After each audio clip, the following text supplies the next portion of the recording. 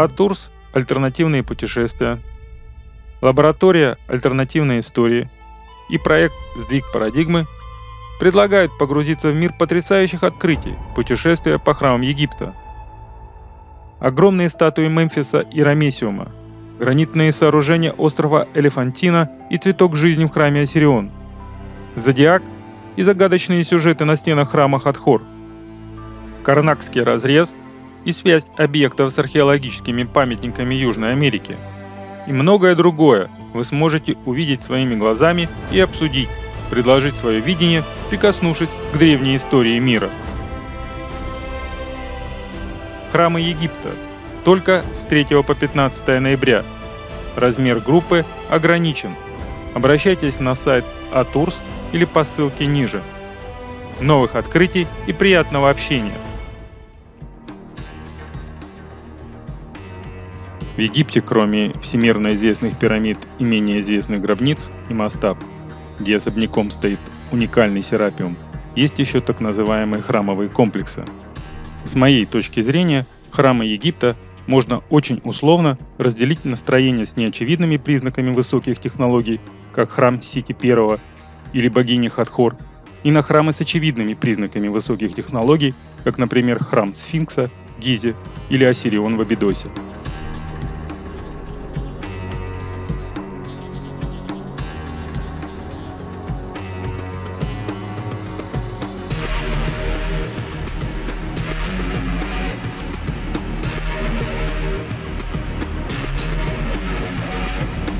Осирион до недавних пор официально признавался древнейшим мегалитическим строением в Египте.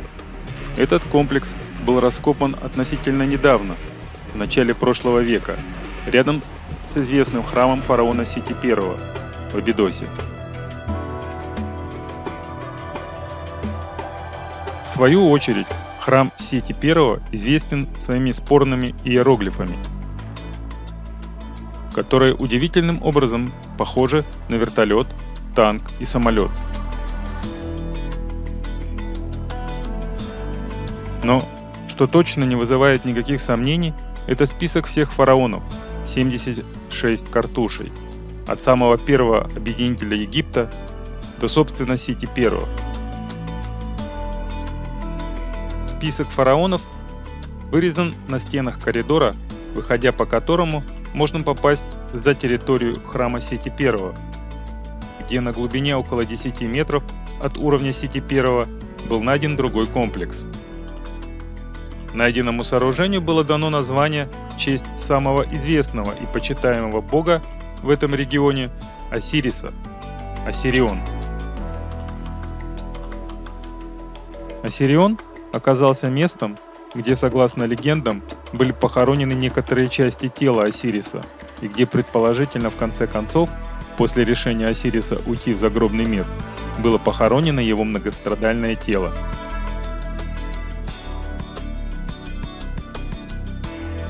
Оригинальная история уничтожения и воскрешения Осириса включает в себя весь спектр человеческих чувств, от мести и ревности до любви и верности. Считается, что Осирис передал человечеству технологии ведения сельского хозяйства, металлообработки и тому подобное, за что, собственно, и поплатился. Не вдаваясь в детали этой истории, отмечу лишь, что несмотря на детальное расчленение Осириса, удалось собрать его заново и при этом оживить с помощью не менее оригинального способа через поглощение глаза своего сына. Несмотря на воскрешение, Позже Осирис решает все же уйти в мир иной, где становится царем загробного мира.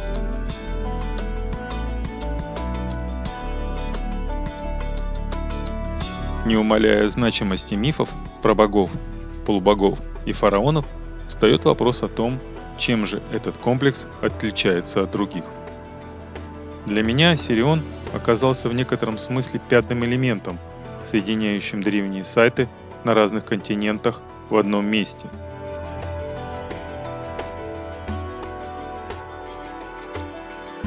Дело в том, что в его архитектуре удивительным образом пересеклись строительные технологии Южной Америки, пирамид и масштаб Северного Египта, некоторых сайтов на территории Турции и даже комплекса Баальбек в Ливане.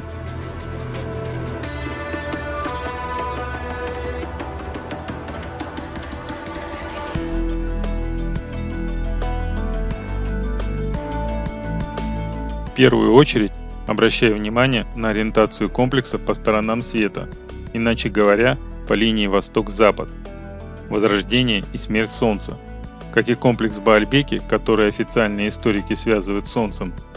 А Сирион ориентирован куда угодно, но только не по Солнцу. Направленность любого древнего строения религиозного назначения является фундаментально заложенной и продуманной, а не случайно выбранной. Куда же ориентирован Осирион? Моя точка зрения, что храм ориентирован на Нил, то есть основную ориентацию задал подземный водный туннель, соединяющий реку Нил и храм в далеком прошлом. Ведь мы, когда строим гараж или склад, не ориентируем его по солнцу, а руководствуемся существующей инфраструктурой. Отсутствие ориентации говорит только о том, что это могло быть строением хозяйственного назначения, где выбор направления лежит в плоскости инфраструктурного удобства.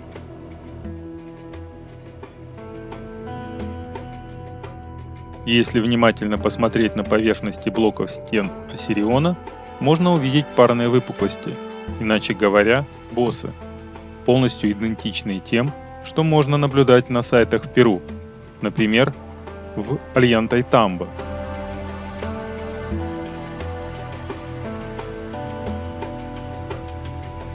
Да, аналогичные выступы есть и на поверхности пирамиды Микерина в Гизе. Но в Ассирионе это уже несущие блоки, а не облицовочный гранит. Признаки полигональной технологии можно увидеть и в других элементах кладки. Этого нет на Микерина. Например, использование небольших блоков прокладок.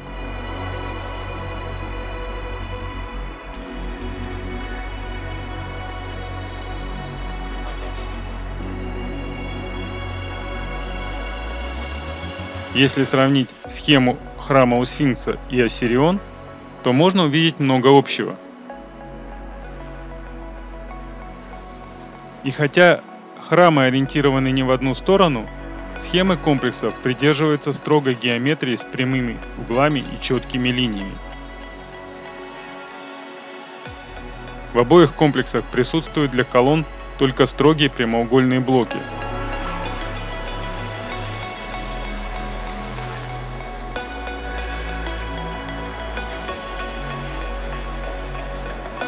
строениях присутствуют артефакты полигональных технологий.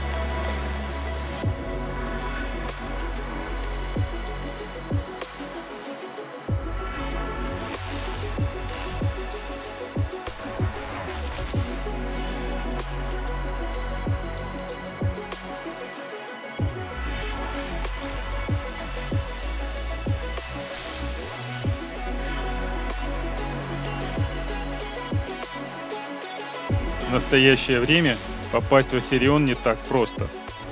И дело не только в том, что туристов туда не пускают.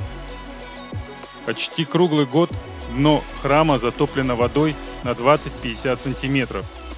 И лишь в январе уровень воды спадает настолько, насколько это позволяет спуститься и пройтись по полу комплекса без сапог. Ассирион имеет свою уникальную связь с водой – Вода предположительно поступает из Нила по скрытому каналу.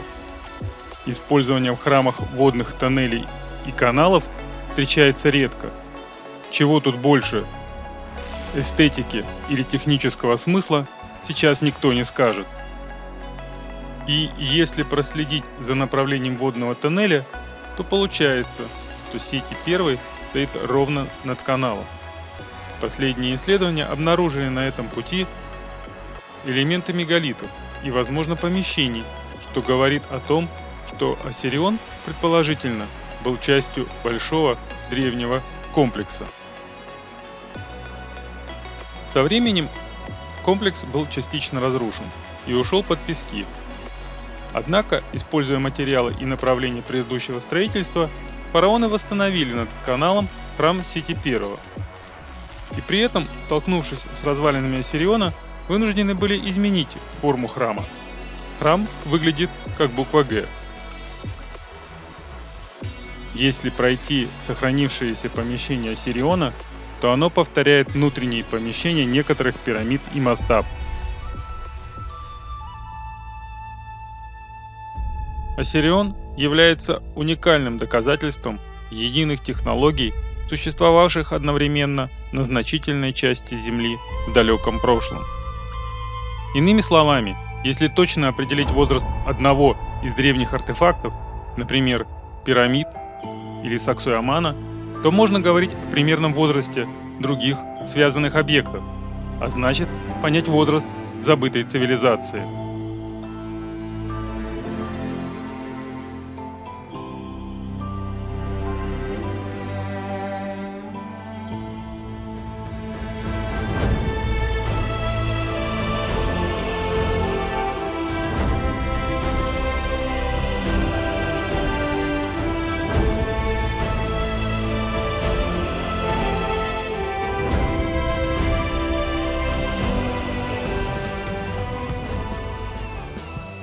Друзья, сейчас идет запись на пятой лектории имени Андрея Юрьевича Склярова «Шаг в сторону», который пройдет 24 сентября по тому же адресу. Улица Воздвиженка, 9, начало в 13 часов.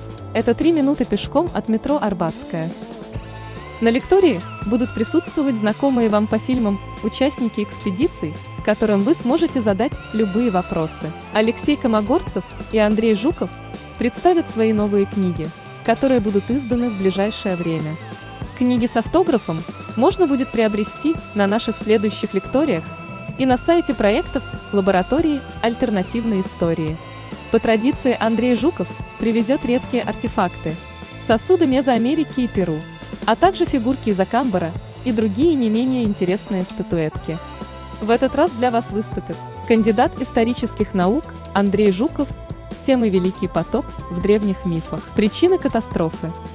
Кроме библейской версии, сказания о потопном катаклизме присутствуют у многих народов из разных точек земного шара. Оказывается, мифы могут приоткрыть тайну гибели древней высокоразвитой цивилизации, а также рассказать о причинах самого потопа. Кандидат технических наук Дмитрий Павлов с докладом «Пирамида Синусерта III. Очередной бункер богов». Речь пойдет об удивительной пирамиде, которую официальная наука относит к Среднему царству Древнего Египта. Это малоизученный объект, который мы планируем посетить осенью этого года. Пирамида представляет большой интерес в плане поиска следов древней высокоразвитой цивилизации. А тот факт, что в подземную часть объекта практически никто не спускался, делает его перспективным в плане новых интересных открытий. Писатель и исследователь Алексей Комогорцев с лекцией «Чуть. Новая жизнь старых богов». Автор расскажет о незнакомых широкой публике аспектах истории пермской чуди, народа, которому приписывается создание уникального в своем роде пермского звериного стиля. Это самобытное литье, самые ранние образцы которого датируются VII веком до нашей эры. Оно совершенно выпадает из общего ряда урало-сибирских звериных стилей. Также докладчик коснется темы мировоззрения пермской чуди и одного из центральных образов ее религиозно-мифологической системы – архаического ящера. Стоимость билетов – 1200 рублей до 17 сентября, 1400 рублей с 18 по 23 сентября, 1500 рублей в день мероприятия 24 сентября. Для вашего удобства есть возможность забронировать места в первом и втором ряду. Стоимость – 2000 рублей – После мероприятия мы отправимся в кафе на Арбате, чтобы продолжить вечер в теплой компании и в кулуарах обсудить с исследователями волнующие вас темы. Спешите, количество мест ограничено. Записаться на лектории теперь можно в любом из мессенджеров по номеру, указанному в описании, в группе Лектория ВКонтакте, а также на сайте Лектория. Все ссылки в описании и в закрепленном сообщении. Ждем вас, друзья!